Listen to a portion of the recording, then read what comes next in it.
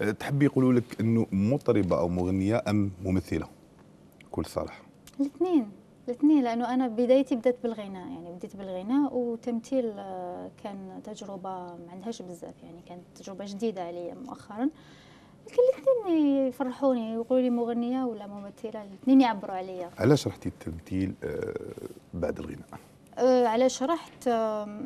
أنا موهبة التمثيل ما اكتشفتهاش من وأنا صغيرة كما الغناء. تعرف الغناء؟ الواحد يكتشف صوته وهو صغير يكتشف إنه يحب يغني يكتشف. لكن التمثيل صعب تكتشف إنك تحب التمثيل ولا عندك موهبة في التمثيل غير اذا جربت.